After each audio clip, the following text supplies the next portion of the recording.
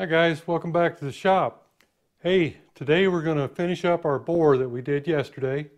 We're going to do the honing, the chamfering, and what else?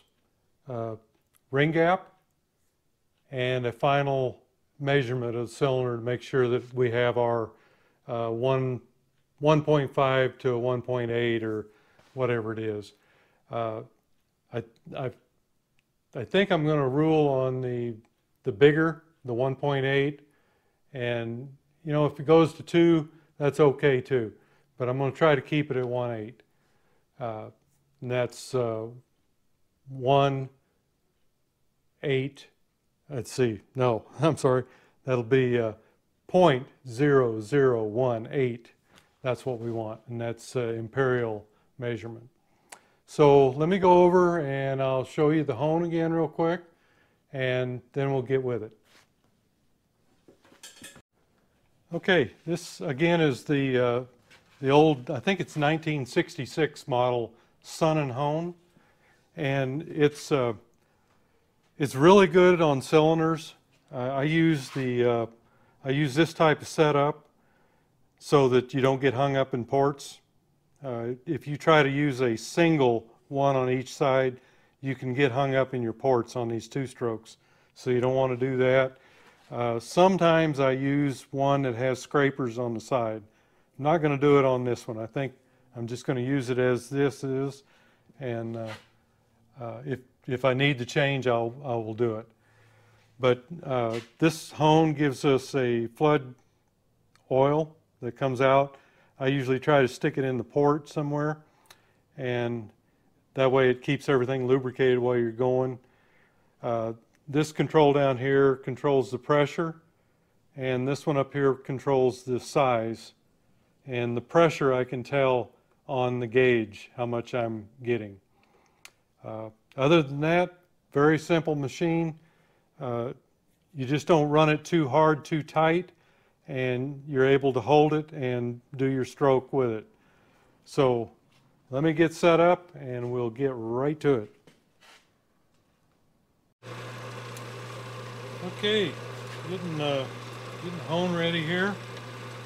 We've got it. I've got it pretty well sized.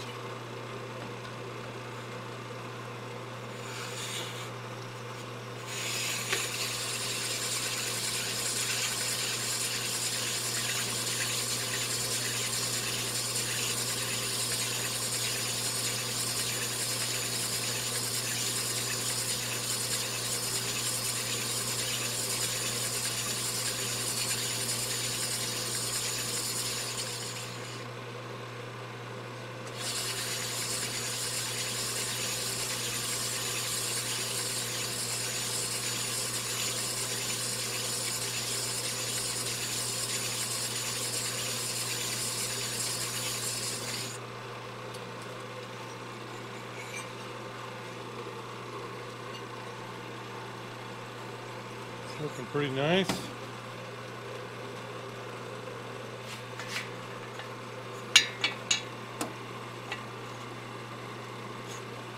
A long way to go.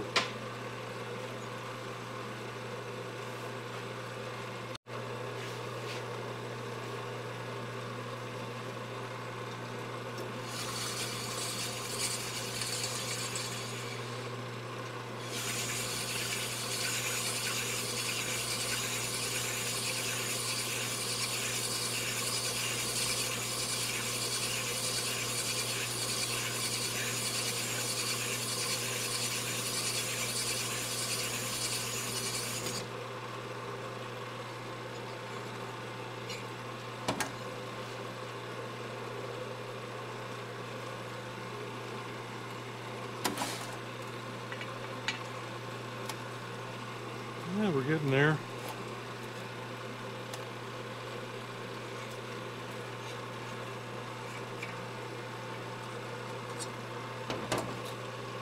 It's time to start checking.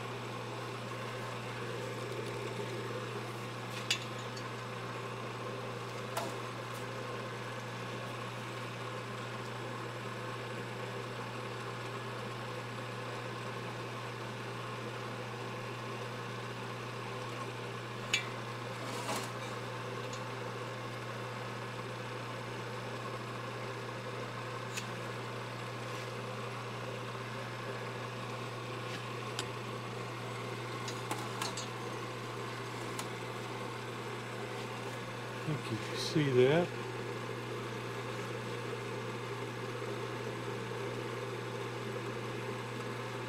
See, we're at uh,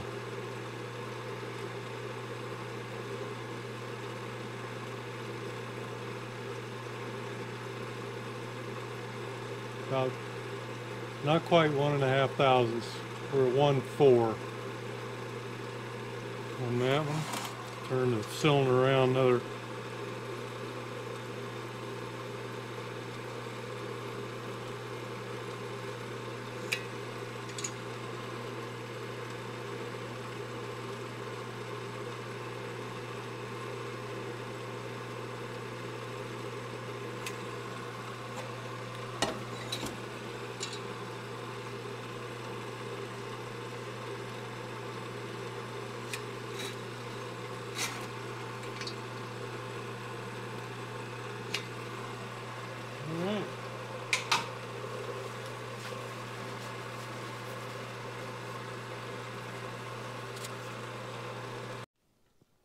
Okay, I think we've got her about where we want it.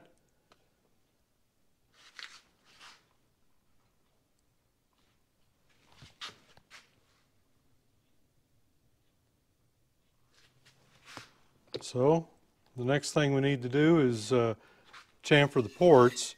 But before I do that, I'm going to go through the measurements just one more time here. Okay. Go uh, exhaust port to intake port. Oops. Get that around where we can see it.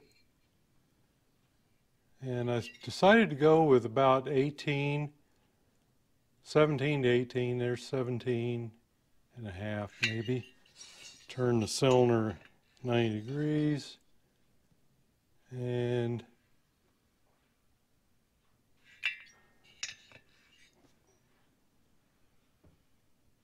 again about 17 and a half and turn it over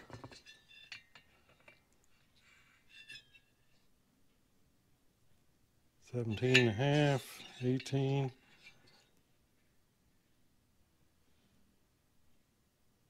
So there you go. I think we're good. I think I feel good about it. We've got um, piston all ready to go in. All we've got to do now is uh, chamfer our ports, chamfer the top, and uh, we'll be done with it. So let me uh, kind of get set up to do that. Okay, guys, um, I'm going to start the uh, chamfering here a little bit, and it's uh, the most important part is the, in this case, the horizontal ones. Here, here, everything that runs along uh, the way the rings would catch in it. These on this side aren't that important. You still need to chamfer them, but these are the ones that are real can be a real problem.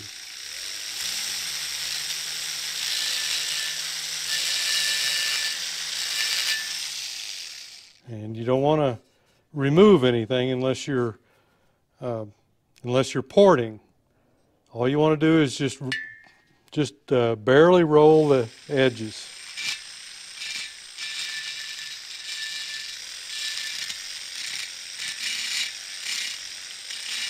And it can grab pretty easy.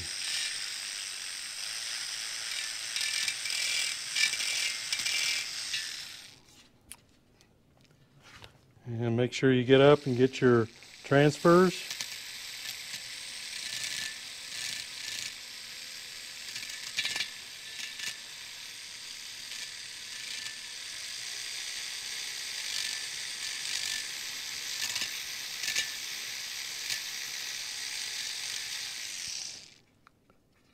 I'm going to have to get a little less coarse bit, I think. Hang on.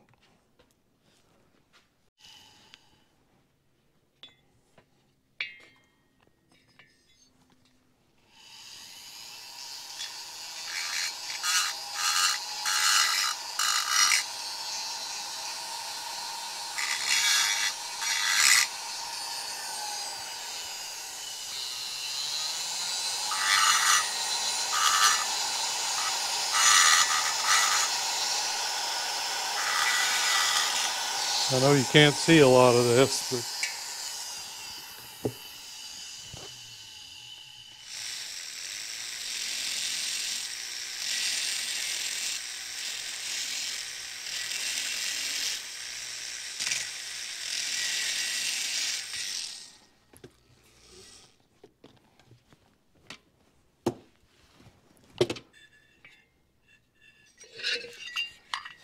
you gotta have a lot of light. More light, the better.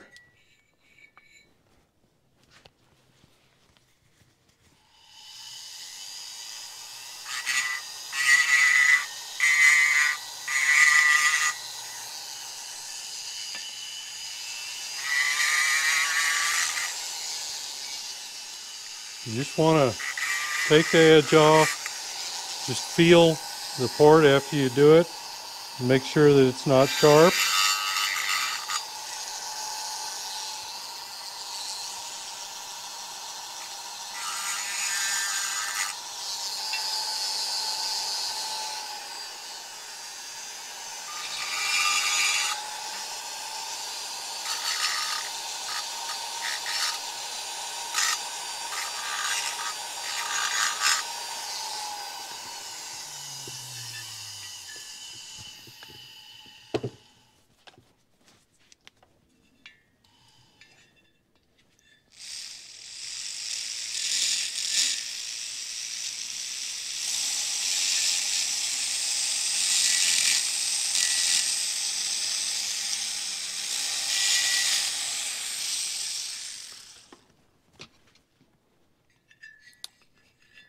Okay, I think we're, I think we're good. Just feel it, kind of run your finger up and down. And if it, if you feel that edge, then it's going to catch the rings. If it feels smooth, you're, you're good to go.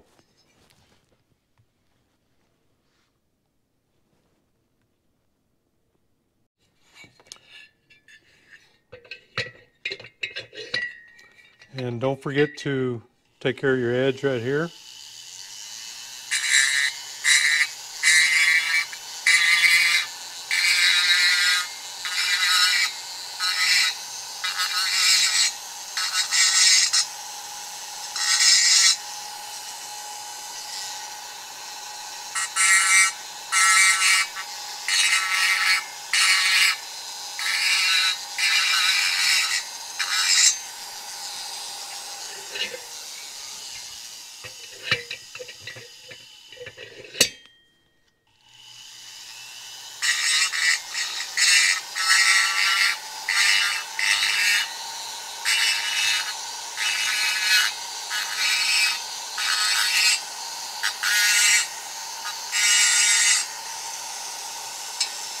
Again, your finger's your uh, your best gauge.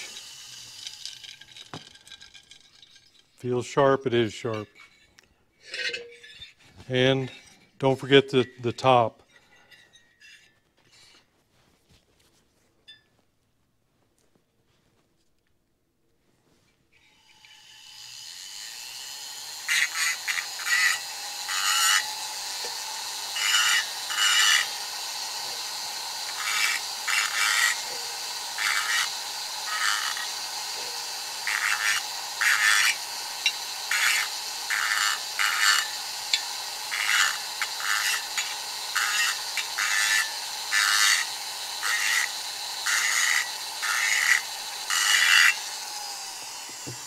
And then I'm going to go back with a cartridge roll and sandpaper and touch it up.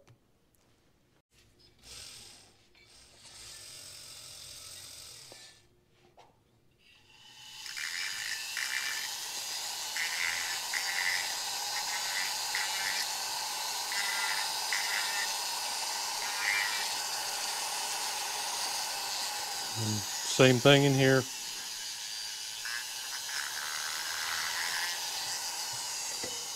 And get back up on the stand so I can kind of see a little better.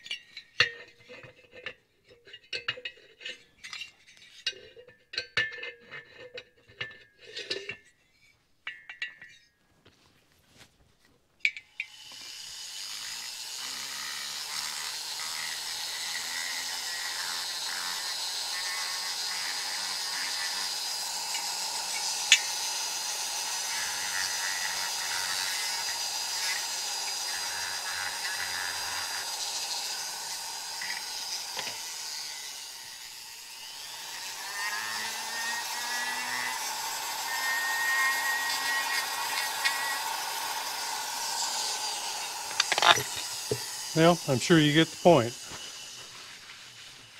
Just be careful.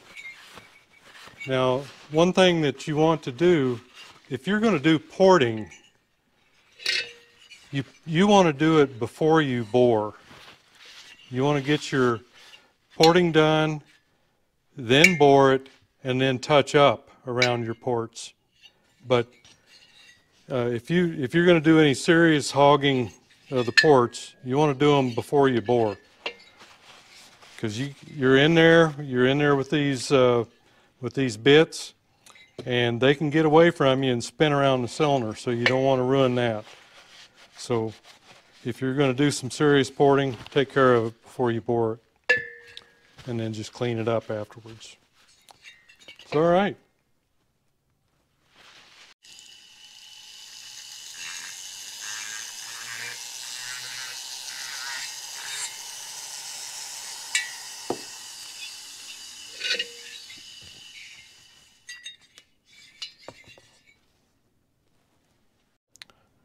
Okay, then don't forget to uh, check your piston ring end gap. Just put it in there and then bring it down equally with the piston. And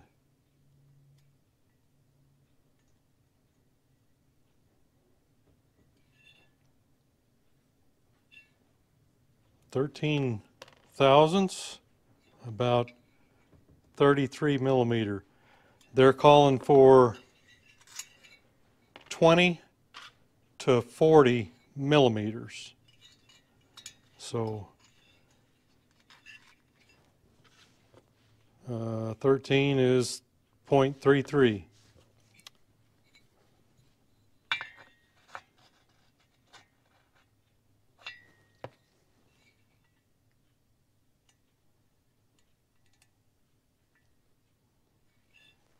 A little, little bit closer.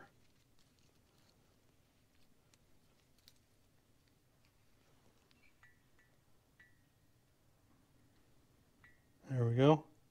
12 on that one. Point 30. Okay, so I think that just about does it. These marks are from the uh, bore gauge going in. Now, something you can do after you've uh, after you've done your cleaning up of your ports and everything, you can go back one last time with a ball hone, and these actually will help deburr those. But I wouldn't spend very much time in there. Just uh, just give it three or four uh, strokes as as it should be and everything will uh, everything will be good. And it actually, like I said, it, it does help deburr those edges. But I think I'm good. It, it doesn't bother me that it's got a few marks there from my bore gauge. Okay guys, there you have it. Uh, yesterday we got it all bored. Today we got it uh, honed out the piston fitted and the rings, ring gap checked, and the uh, ports deburred. Uh, chamfered, I guess is what they call it. Anyhow, uh, it's pretty good couple days work and I feel like I got a lot done. It is kind of a slow process, especially for me on uh, the boring. It's not something I do every day, so I'm real cautious and I go very slowly at it to make sure that you don't mess up. That's, uh, you know, like I said before, if you, uh, if you go too, go too big, if you miss a measurement, the only way to fix it is to go bigger. And if you're already as big as you can be, then you got a problem. Then you get sleeving or you got to find another cylinder. So, hey, thanks for going along on the ride. See you next video.